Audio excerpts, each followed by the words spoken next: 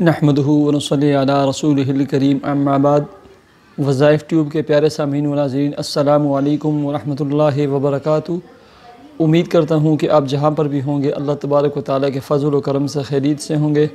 और दुआ गो हूँ कि अल्लाह तबारक व ताली आपको हमेशा सेहत और सलामती के साथ अपने हिफ्ज़ व अमान में रखे।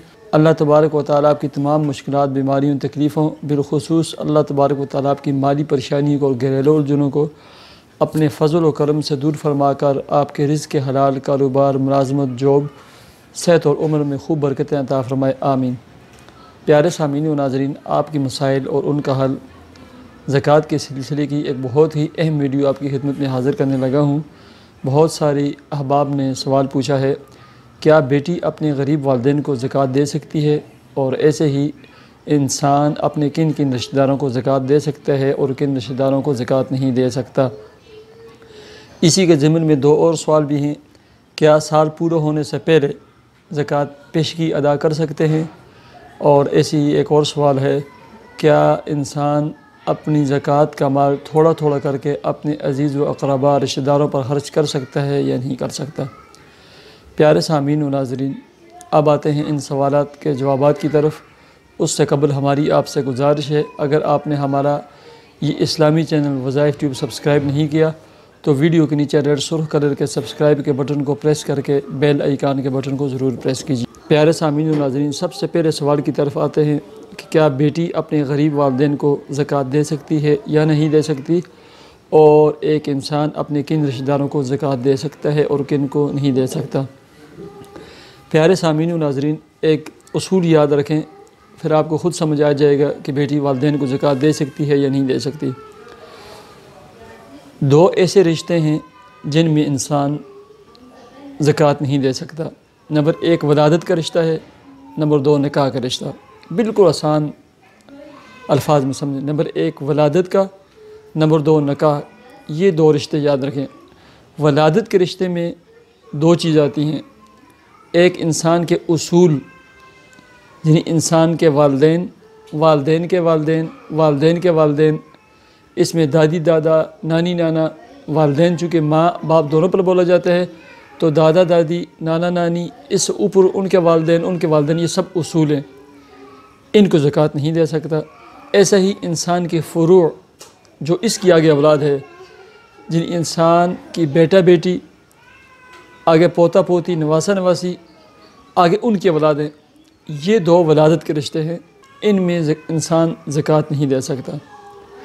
दूसरे नंबर पर आ गया निकाह का रिश्ता निकाह का रिश्ता यानी मियाँ अपनी बीवी को और बीवी अपने मियाँ को ज़क़़त नहीं दे सकती इसके अलावा आप तमाम रिश्तेदारों को ज़क़़त दे सकते हैं आप अपनी फूफी को ज़क़़त दे सकते हैं उनकी तमाम औलाद को ज़क़़त दे सकते हैं मामू को ज़क़़त दे सकते हैं उनकी औलाद को ज़क़़त दे सकते हैं खाला को ज़क़़त दे सकते हैं उनकी औलाद को ज़क़़त दे सकते हैं चाचे को ज़क़़त दे सकते हैं उनकी औलाद को ज़क़़त दे सकते हैं ये चार अहम रिश्ते जो सबको ज़क़़त दे सकते हैं। ज़क़़त देते वक्त सिर्फ़ इस चीज़ का ख्याल रखा करें कि जिसको ज़क़़त दे रहे हैं, वो ऑलरेडी साहिब इंसाब तो नहीं।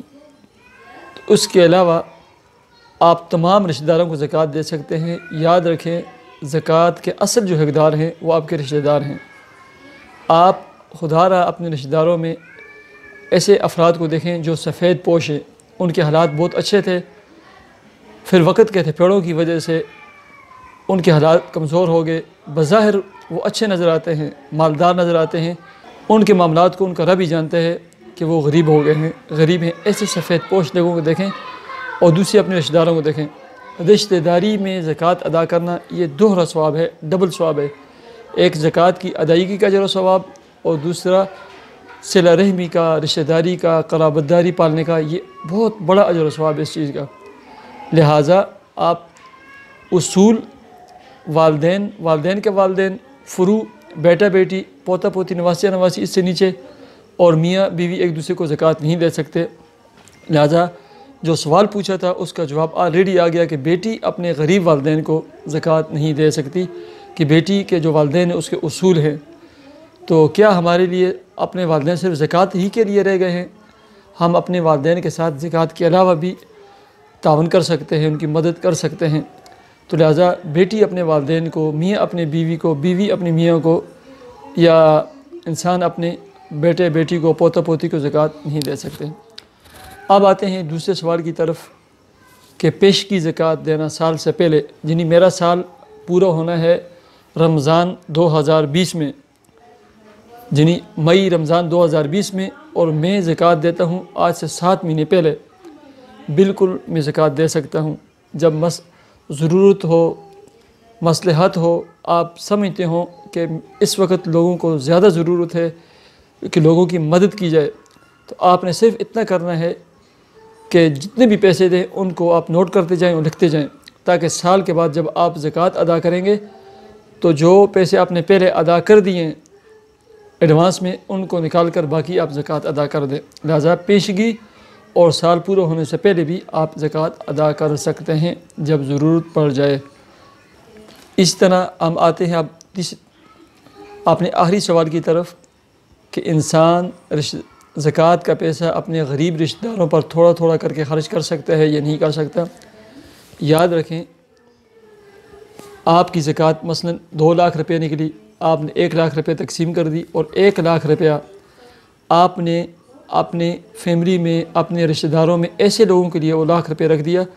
अगर उनको फौरी तौर पर पैसे दे दिए जाएँ तो उनसे वो खर्च हो जाएँगे। क्योंकि पैसे का असूल है, जब पैसा आता है तो सौ दरवाजे आगे खुले होते हैं।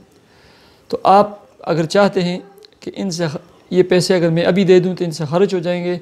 तो कुछ अरसे के बाद फिर इनको पैसों की ज़रूरत पड़ती है मुख्तलिफ़ चीज़ों की तरफ़ ज़रूरियात के लिए। तो लिहाजा आप ऐसा करें कि ज़क़़त का पैसा अलग करके मसलन दो लाख एक लाख खर्च कर दिया, एक लाख आपने रख दिया। अब आपके जितने भी रिश्तेदार हैं, जिनके ऊपर आप खर्च करना चाहते हैं तो उनको ज़रूरत के मुताबिक थोड़ा थोड़ा थोड़ा थोड़ा आप ज़क़़त के पैसे उनको दे सकते हैं, उनके राशन पानी दे सकते हैं, ख़र्चा कर सकते हैं। और इस मसले में मुझे अल्लाह की ज़ात पर कभी उम्मीद है कि आपको डबल, ट्रिपल स्वाब मिलेगा। एक ज़क़़त का, एक रिश्तेदारी का और दूसरा इस दर्द का और एहसास का भी स्वाब आपको मिलेगा। कि आपने सोचा कि मेरे ये गरीब रिश्तेदार हैं? आज अगर इनके पास पैसा आ गया तो सब खर्च हो जाएगा। कल ये दोबारा ज़रूरतमंद बन जाएँगे, मोहताज होंगे लोगों के। तो बजाय किसी के सामने हाथ फैलाने के, मैं ही अपने पैसों को रख देता हूँ और थोड़ा थोड़ा करके इन पर खर्च करता हूँ। अल्लाह की ज़ात पर उम्मीद है कि आपको इसका डबल ट्रिपल स्वाब मिलेगा। मुझे इजाज़त दीजिए। अल्लाह हाफिज़।